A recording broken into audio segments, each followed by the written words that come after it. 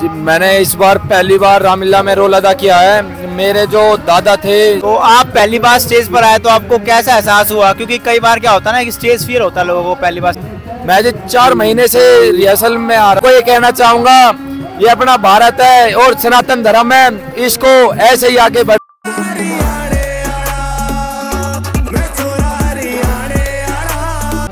आप सभी को नमस्कार। फिर से आपके लिए एक नई वीडियो में हाजिर हुए हैं और आपका हमारे YouTube चैनल में स्वागत है। तो आज आपको मिलवाते हैं अंगद जी का जो किरदार निभा रहे हैं। झारसा गाँव से रितेश शर्मा जी है और उन्होंने काफ़ी अच्छा रोल अदा किया है रामलीला के अंदर।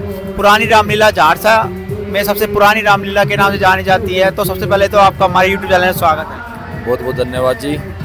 तो अपने बारे में हमारे दर्शकों को थोड़ा बताएँ। जी, मैंने इस बार पहली बार रामलीला में रोल अदा किया है। मेरे जो दादा थे, श्री बलवान जांगड़ा जी, उन्होंने पहले जनक जी का और कई पाठ अदा किए थे। तो इस बार पहली बार मैं स्टेज के ऊपर चढ़ा था, वो भी इतनी सारी पब्लिक के अंदर। मैंने अपनी तरफ़ से बहुत अच्छा किया और पब्लिक को भी बहुत अच्छा लगा। सब भगवान का आशीर्वाद है, जिस कारण से मैं इतना अच्छा रोल अदा कर पाया हूँ। तो आप पहली बार स्टेज पर आए तो आपको कैसा एहसास हुआ? क्योंकि कई बार क्या होता है ना कि स्टेज फियर होता है लोगों को पहली बार स्टेज पर आते हैं। तो आपको कैसा उस टाइम उस, उस पल का आपको कैसा महसूस हुआ उस पर देखो जब पहली बार मैं स्टेज पे चढ़ा था तो पब्लिक को देखते के साथ तो एकदम से मेरी भी साँसें फूल गई थी। पर दादा सत्यनारायण जी ने मेरे को कहा था कि स्टेज पे चढ़ने के बाद पब्लिक की नज़रों में नज़रें मत मिलाना। अगर नज़रों पब्लिक के साथ नज़रों में नज़रें मिला दी तो आपका रोल खराब है।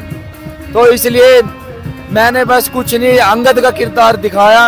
अपने अंदर ये सोचा कि मैं इस टाइम अंगद का रोल ही कर रहा हूँ तो अंगद ही है मेरे अंदर। मैंने वो सोच के अपना रोल किया। तो आप कितने समय से रामलीला के लिए रिहर्सल मेहनत करते आ रहे हो? आप क्योंकि आपने पहली बार रोल किया है शायद ये तो आपने कितनी मेहनत किया इसके लिए? तुम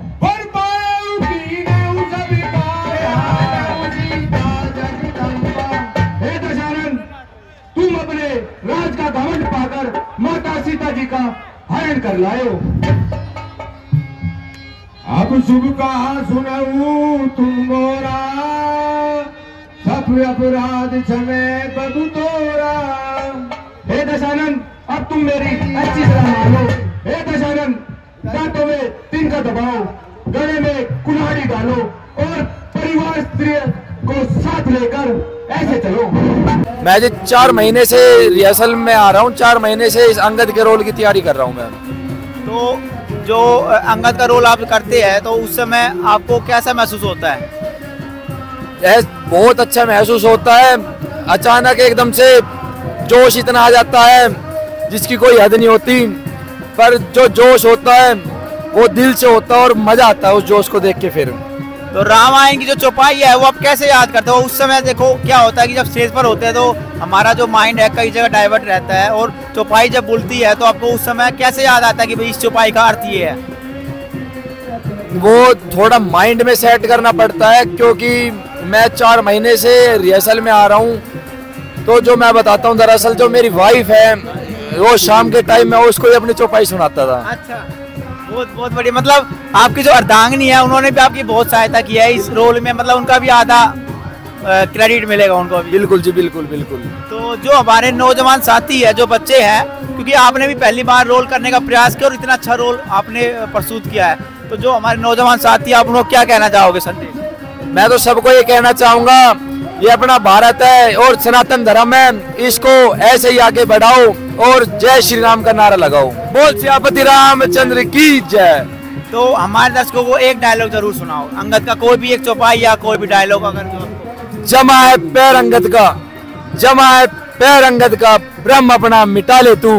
यदि तेरी लंका में कोई वीर वाक्य तो उसे भी बुला ले तू। बहुत शानदार बहुत ही बढ़िया हमने रामायणी चौपाई सुनाई है। और बाकी की जो वीडियो आपको वीडियो के अंदर क्लिप में मिल जाएगी, क्योंकि अंगद जी की मैंने एक वीडियो क्लिप बनाई है जो आपको वीडियो के अंदर मिलेगी। तो अगर आपको वीडियो अच्छी लगती है तो वीडियो को लाइक करें, शेयर करें और चैनल को सब्सक्राइब करना ना भूलें, क्योंकि रामलीला से रिलेटेड वीडियो आपको मिलती रहेगी। और आप क्या कहना चाहोगे हमारे चैनल के बारे में? भाई का चैनल है, अपना बड़ा भाई है तो भाई पूरा सपोर्ट करो भाई के चैनल को। और एक पुरानी रामलीला कमेटी झाड़सा उसके नाम से भी यूट्यूब पे चैनल है उस पे पर डे की रामलीला की सारी क्लिप मिलेंगी आपको। उसमें आपको पूरी वीडियो मिलेगी क्लिप्स मिलेगी शॉर्ट वीडियो भी मिलेगी। तो उस चैनल का जो लिंक है वो मैं डिस्क्रिप्शन बॉक्स में डाल दूँगा तो आप उसको भी ज़रूर सब्सक्राइब करें ताकि आने वाले दिनों में जो भी रामलीला की रिहर्सल होगी या कोई भी वीडियो होगी वो आपको मिलती रहेगी। तो मिलते हैं अगली वीडियो में जब तक हमारे चैनल को सब्सक्राइब करें वीडियो को लाइक करें। जय श्री राम। जय श्री राम।